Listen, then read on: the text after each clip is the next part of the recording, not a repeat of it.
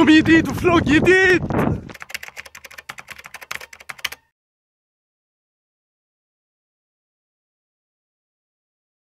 السلام عليكم ورحمة الله وبركاته جميعا، شو أخباركم شو مسوين؟ إن شاء الله طيبين؟ إن شاء الله تبارك الله في جميع برامج التواصل الاجتماعي، في تويتر، في الإنستغرام، في سناب شات، وحتى هنا في اليوتيوب، ثانيا نتكلم عن موضوع الابتعاث، كيف أطلع بعثة؟ وإيش شروط الابتعاث؟ ما عليك اليوم خليها علي. إن شاء الله راح أغطي كل موضوع الابتعاث. إذا أنت شخص مثلا ما تبغى تطلع بعثة أو شخص ما يهمك الابتعاث اسحب على فلوق اليوم وتعال بكرة إن شاء الله. طيب تقريبا والله جلست أكثر من ساعتين ونص هنا. أبحث عن موضوع الابتعاث. واللي اكتشفت يا جماعة أن الشروط دائما تتغير. مثلا شروط السنة هذه مو نفس شروط السنة اللي راحت وشروط السنة اللي راحت مو نفس السنة اللي قبلها. فدائما تتغير الشروط. طيب نقول بسم الله الرحمن الرحيم. أول شيء الابتعاث نوعين. نوع عن طريق الحكومة ونوع على حسابك الخاص. كيف على حسابك الخاص؟ إن شاء الله راح أتكلم عن هذا الموضوع. لكن يا جماعة في شيء فاجأني طلع كل مرحلة دراسية لها عمر محدد. مثلا إذا أنت تبغى تدرس بكالوريوس لازم عمرك ما يزيد عن 22 سنة. وإذا تبغى تدرس ماستر لازم عمرك ما يزيد عن 27 سنة. وإذا تبغى تدرس دكتوراه لازم عمرك ما يزيد عن 30 سنة. وبالنسبة للطالب المبتعثة لازم عمر المحرم ما يقل عن 18 سنة. طيب نرجع لموضوع الابتعاث. زي ما قلنا الابتعاث نوعين. أول شيء عن طريق الحكومة. لازم نسبه الثانوية تكون 90 وفوق والقدرات 80 وفوق والتحصيلي 80 وفوق. وبالنسبة للشهادة الثانوية لازم ما يكون عدى على تخرجك أكثر من ثلاث سنين. حلو هذا الشرط الأول. الشرط الثاني لازم تجيب قبول جامعة وموصى بها من الوزارة. البعض مثلا يقول بطلع ابتعاث والله أنا بروح جامعة في نيويورك ولا بروح جامعة في كاليفورنيا. مو كل الجامعات للأسف مقبولة من الوزاره حلو. الشرط الثالث انه لازم يكون تخصصك من ضمن هذه التخصصات. وهذا بعد شيء للأسف ما يعرف الكثير. مثلا البعض يقول والله أنا بطلع ابتعاث وبدرس هندسة ديكور. ولا أي تخصص ثاني. لا للأسف الشديد التخصصات محدودة. لكن والله تفاجأت بالتحديث الجديد من الملحقيه تخصصات كل مالها تصغر يا جماعة. طيب التخصصات هذه. واحد طب علوم طبية هندسة ميكانيكية هندسة كهربائية هندسة علوم حاسب آلي قانون محاسبة سياحة وفندقة. يعني الحين أنا مثلا ما أقدر أدرس graphic design لكن أقدر أدرس سياحة وفندقة. حلو. إذا هذه الشروط كانت تناسبك فطريقة الابتعاث سهلة. تعبي الاستماره صورة من جواز السفر صورة من بطاقة الأحوال صورة من الشهاده الثانويه قبول من الجامعة وترفعهم على موقع الوزارة. بحط الرابط تحت. طيب إحنا قلنا الابتعاث نوعين. هذا النوع الأول اللي كان على حساب الحكومة نيجي عند النوع الثاني. اللي هو على حسابك الخاص. أول شيء قبل ما تسافر تأخذ ورقة إذن من الملحقيه تعطيهم خبر إنك مثلا تطلع أنت ابتعاث في أمريكا ولازم تحضر دورات في السعودية. فهذه الدورات يعلمونك مثلا كيف تتصرف إذا ضاع جوازك كيف تتصرف لا سمح الله صار لك شيء. هذه الدورات يعني إن شاء الله راح تفيدك. بعد ما تأخذ ورقة إذن من الملحقيه لازم تختار جامعة موصف فيها وبعدها لازم تدرس اللغة الإنجليزية على حسابك الخاص. البعض يأخذ اللغة الإنجليزية بسنة البعض يأخذها بسنة ونص البعض يأخذها بسنتين. بعد ما تخلص اللغة الإنجليزية تدخل جامعة إن شاء الله. وبعد ما تدخل جامعة لازم تدرس سنة كاملة في الجامعة. لكن لازم تخصصك يكون من ضمن التخصصات اللي ذكرناها. بعد ما تدرس حسابك الخاص اللغة الإنجليزية وسنه كاملة في الجامعة. أي ما يعادل تقريبا 35 ساعة في الجامعة. ولازم المعدل ما يقل عن اثنين ونص. بعد ما سويت هذه الشروط كلها إن شاء الله ترفع طلب للملحقيه وإن شاء الله يضمونك. وقتها يكون أنت درست سنة مثلا في الجامعة يبقى لك ثلاث سنين وتكملها الملحقيه هذه لمرحلة البكالوريوس. أما بالنسبة للماجستير والدكتوراه كل مرحلة وشروطها غير. بإذن الله بحط رابط الوزارة تحت وتقدر تتأكد وتشوف شروط المرحلة اللي أنت فيها. طيب ممكن بعض يقول والله يا ثنيان أنا حاليا أبغى أطلع بعثة لكن هذه الشروط ما تناسبني ولا صعب علي. ما تدري وين الخيرة. وفي كثير يجون بعثة هنا ما كانوا مخططين ولا كان على بالهم. مثلا في مبتعثين هنا ما شاء الله تبارك الله من الحكومة من حرس الحدود من مكافحة المخدرات من البحرية وغيرهم. ما كانوا يدرون يطلعون بعثة ولا كانوا مخططين مثلا. مثلا كان حلمهم إنه يطلعون بعثة لكن مثلا ظروف ما ساعدتهم. والحين الحمد لله مثلا تحقق حلمهم طلعوا بعثة. ما تدري وين بالضبط متى بتسافر ولا متى بتطلع بعثة. وحتى اللي يدرسون شركات في أشخاص هنا مبتعثين ما شاء الله أشوفهم مثلا يقول أنا مبتعث من أرامكو من سابق أو مثلا من أي شركة تشتغل فيها أنت ما شاء الله موظف ممتاز بنطلعك بعثة تدرس لغة بعدين ترجع تكمل في الشركة مرة ثانية. نحتاج شخص مثلا أو موظف يتكلم اللغة الإنجليزية. وشيء توني أدري عنه بعد أن حتى الحكام يطلعون بعثة. كان في حكم هنا معنا في نفس المدينة هو حكم في درجة ثانية أتوقع ودرجه أولى شيء زي كذا. وقال إن الحكومة أرسلتها بعثة. عشان إذا مثلا كان في لاعب أجنبي ولا محترف أجنبي.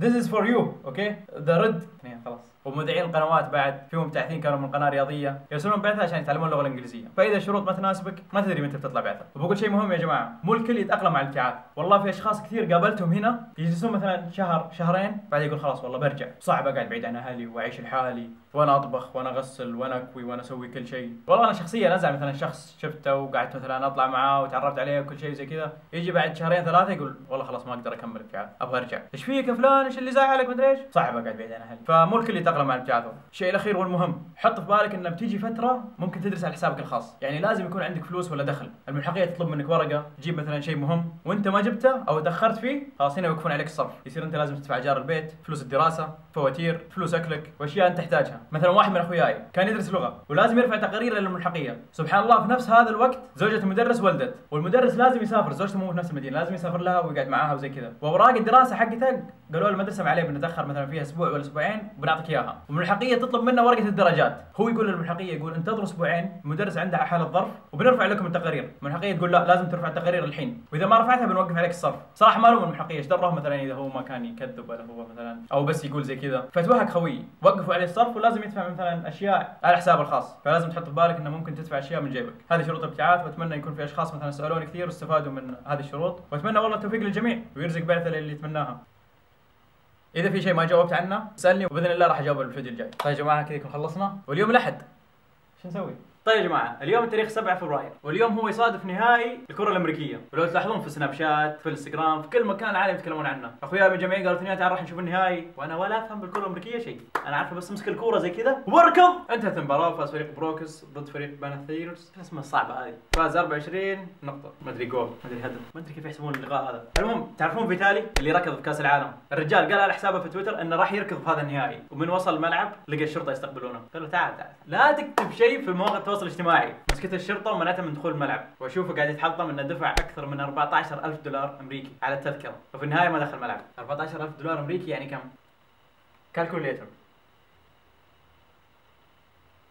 7 نشوف. يعني 51 ألف ريال. كذا. ولا شيء. هوا. ضاعت عليه. أشوفه كاتب لو إني شريت ساعة رولكس أحسن لي. لا تكتب شيء مرة ثانية في تويتر. المهم يا جماعة اليوم الأحد. يعني يوم الاهتمام بالشقة زي ما قلنا من قبل نخصص يوم للاهتمام بالشقة وإحنا عندنا يوم الأحد.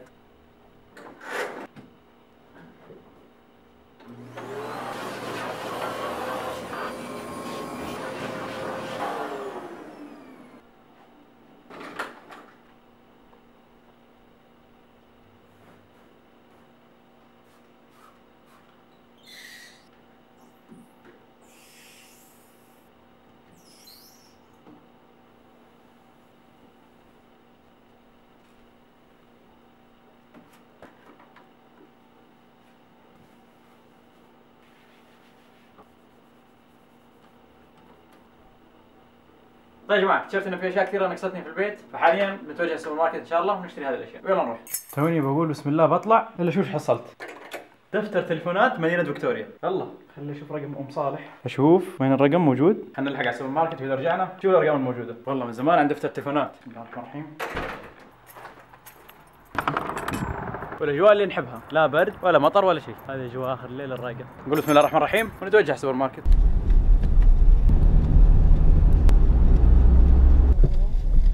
طيب شباب وصلت السوبر ماركت. لكن زي ما تشوفون الشوارع فاضية وما في أحد. والسبب؟ لاني زي ما قلت اليوم كان في مباراة. طيب ممكن البعض يقول ثنيان المباراة انتهت من ساعات. بسم الله الرحمن الرحيم إيش هذا سلة. لكن يا جماعة هنا الكنديين لما تكون في مباراة مهمة يشربون الكحول هم يشوفون المباراة. فطبعا ما يقدرون يسوقون. فعشان كذا شوارع فاضية. ماخذ راحتي قاعد اسوق ولا في زحمة ولا شيء. على أساس دائما زحمة. ما أدري إيش فيني كذا مستانس لما واقف فاضي. مع إنه بدري والله الساعة 7 الحين. واليوم الأحد لكن فاضي. يا رب كل يوم في نهائي. متى النهائي الجاي؟ خلاص نروح سوبر ماركت. طيب لما إحنا بندخل سوبر ماركت والكاميرا الكبيرة هذه فطبعا بيقولون إنه ممنوع كالعادة. لكن نسوي اللي علينا. حطيت الكاميرا كذا على العربية عشان ما يدرون قاعد نصور. طيب يا جماعة هذه حركة ممكن تفيد الكثير. لما تيجي تروح سوبر ماركت طبعا تاخذ معك ورقة الاشياء اللي تبغاها صح؟ أنا إيش كنت أسوي أول؟ أكتب مثلا هنا طماطم أكتب هنا مثلا حليب بعدين أفوكادو بعدين زبادي بعدين زي كذا. لكن سويت شيء والله وفر علي وقت كثير. إيش سويت؟ مثلا قسمت الأغراض. هنا الخضروات والفواكه هنا الحليب والمشتقاتها هنا الأشياء العامة. مثلا أجي هنا. أشوف إيش أبغى؟ الخضروات زي كذا كذا كذا. خلاص. حليب زبادي ولبن زي كذا وأشتري. خلاص. بدل مثلا ما أروح أشتري هنا طماطم بعدين أروح أشتري مناديل بعدين ألقى مكتوب أفوكادو وارجع مرة ثانية قصة عند الأفوكادو. للطلاب المبتعثين سوي الحركة هذه. إن شاء الله راح تفيدكم. وتوفر عليك وقت. وما ننسى المعتاد. خس سبانخ وجرجير الله الله. احس إني مجرم كذا، إيش اللي ممنوع التصوير هنا؟ المهم يا جماعة، أكثر مرة لما أجي أصور مثلا وأنا أشرب لبن ولا شيء، يجون طلاب مبتعثين، ثنيان عندكم لبن؟ كيف عندكم لبن؟ إحنا ما عندنا لبن، فأتوقع في أغلب السوبر ماركت سوبر ماركت ليش جمع سوبر ماركت؟ في أغلب السوبر ماركتات، أكثر من سوبر ماركت راح تحصلون شيء اسمه butter milk، butter milk اللي هو اللبن، هو اسمه غريب شوية يعني كذا زبدة الحليب، لكن هو لبن، صحيح إنه طعمه مو مثل اللبن اللي عندنا، لكن لبن، فلما تطبخ كبسة ولا شيء لما تطبخ كبسة ولا شيء لبن هذا جدا كويس. اهرب هلا أبوي. افوكادو. الله لا خلاص ما عاد نحتاج بالحبات نحتاج درزن كذا يكون سوقنا وخلصنا. والحين نروح نحاسب.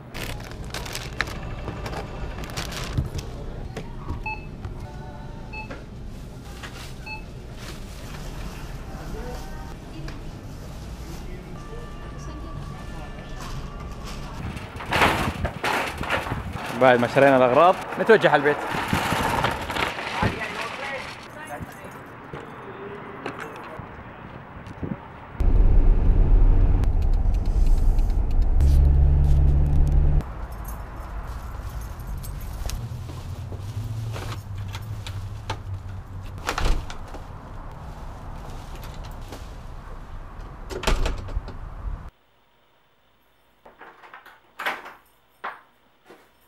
مرحبا من جديد.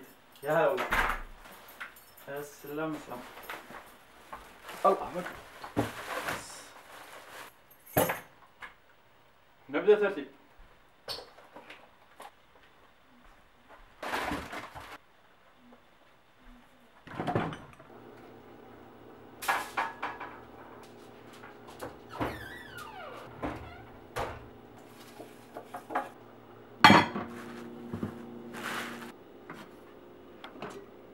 يا سلام.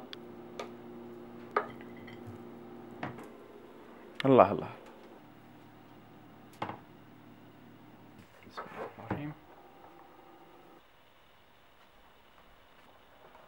باقي اللبن. قلت بس سناب شات اكتبوا بالإنستغرام طبخات تبغوني أسويها. من ضمن أحد التعليقات مكتوب اطبخ طبخة تحبها. سويت مكبوس دياي سويت كبسة دجاج وجهزت المعتاد وخلطة الافوكادو ناخذ اللبن.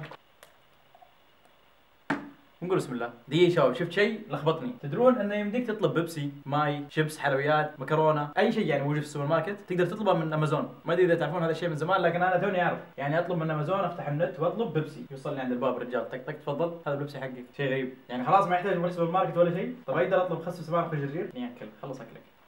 الحمد لله يا رب بعد ما خلصنا عشاء الحين جاء وقت نغسل الملابس بما ان اليوم الأحد. لكن أنا ما شاء الله علي بكل vlog أقول okay بكرة بروح البنك أجيب صرف. من vlog ستة وأنا أقول بروح البنك ولما الحين ما رحت فحاليا ما عندي صرف اللي هي قروش عشان أغسل ملابس فالحل؟ ان نروح تيم هورتنز اللي تحت ونشتري French vanilla صغير كذا يكون عندنا صرف. إن شاء الله بكرة نروح البنك. خلاص بخلص بعثة وأنا لما الحين ما رحت البنك. راح نتوجه هنا بإذن الله. ويلا نروح. هذا مصير اللي أجل الأعمال دائما فباذن الله بكرة خلاص نروح البنك. سواء تبغى ولا ما تبغى نروح البنك. والله يا جماعة ما زالت الشوارع فاضية. أقول العالم سكرانة لما الحين. حتى تيم هورتنز والمطعم الصيني ما في إلا كم سيارة بس. كويس هذا شيء من صالحنا. إيش الخطة الحين؟ أقول له الصراحه لكن أهم شيء أنا الصرف ما أبغى أشتري. فاضي تيم هورتنز. Can I get uh, one small French vanilla please? But how much is it? وأخذنا الصرف ثانك يو سلم. بسم الله الرحمن الرحيم. كويس أخذنا الصرف وأخذنا الفرنش فانيلا صغير. حنرجع نغسل ملابسك اثنين أسمع أصوات هنا. وأنا ماشي برجع شقة؟ إلا شوي من قبلت. عزيز وخالد. صدناه والله سيارة مرة. نظيفة والله ارتعتوا بالسيارة بالإشارة شوف نخ قفل قفل شين الله يحييك ويبقيك عزيز إيش بتروح تطلب عزيز؟ همبرجر. يقول بيطلب. ما يسوون همبرجر في الليل عزيز. بالله عليك. ما يسوون ما يسوون في الليل. ما عندهم إلا دونت وكافي. إيه ما يقدر عيال ما تعشوا. وجايين تيم هورتن عشان يتعشون. والله الجوع كان بربع شوف في صبوي ورا يفتح 24 ساعه تونة تونة. ونبيض تونة. يلا عزيز يلا خالد وراح اغسل ملابس أنا. يلا. يلا يلا يلا شكر الله عاد. الساعة 10 شقتنا 24 ساعة. كم بالله تغسل دولار وربع. قول ربع اي دولار وربع. ربع اي أقول لك 24 ساعة. يلا بتروحون صبي؟ يلا بالعافية. يلا سلام. شوف بكرة. مع السلامة. يلا. ما عليك. قابلت العيال بالصدفة. ورجعوني تيم هورتنز. جلست معاهم شوية. حاليا برجع مرة ثانية على الشقة. وغسل ملابس كذيب. كذا يكون جهزنا الملابس جبنا أهم شيء حق الغسيل والصرف معانا ويلا نروح. بس كذا رايحين حرب. يا مرحبتين يا هلا والله.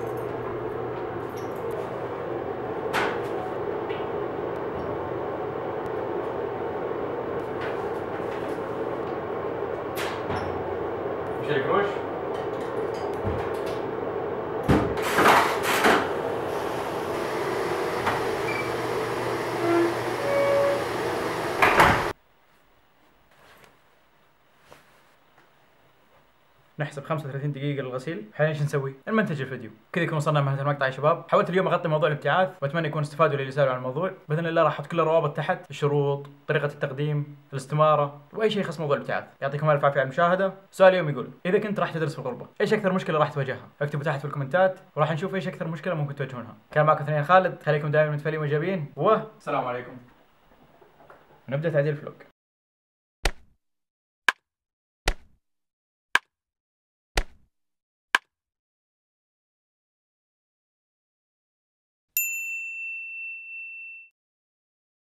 أوه ثنيان دامك واقف. تقدر تجيب لي شوكة؟ okay خلاص ما عليك. وجيب شوكة يا ثنيان يا سلام.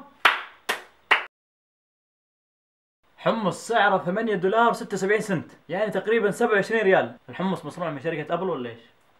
نجرب طعمه. يعني داخله عسل يعني. خلاص يا ثنيان خلاص.